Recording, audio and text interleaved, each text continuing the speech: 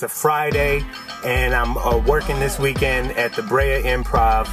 Yeah, we usually go to the zoo on Fridays, and so today we're gonna go to the zoo without the car and try to use public transportation in Los Angeles. I have to be there at 7:30. It says it would take an hour and a half to get seven miles. Downtown Union Station Yeah, I run seven miles, and I can do that in an hour. To Fullerton, California. I feel like I'm Bear Grylls. Downtown Brea. Imagine if Bear Grylls had to do that with a two-year-old too.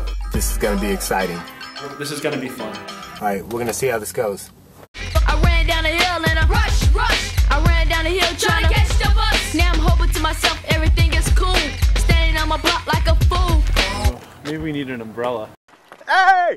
I missed the bus. Sky does not look too forgiving right now. Here comes the rain. It's raining. So I got to Union Station. It's not. Uh, Missed the bus. she's gonna hold it. Pay seven fifty, It's raining in Los Angeles. This could be the apocalypse. and we're barely off of your street. you know what we can? Are you staying dry? Yeah. You understand what dry means?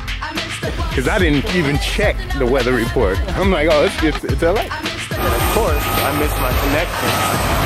Please keep her warm and dry. Love you guys. There you go.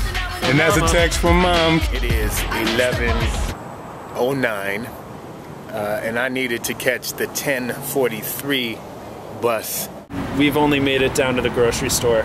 and I'll have to wait a few hours. Yeah, we could use a pickup actually. It's not gonna be a fun night, but um, I will survive because I am strong, and you can't keep a good man down. So Johnny runs faster than the buses in the, in LA, Yeah. according to Google Maps. That is awful. All right.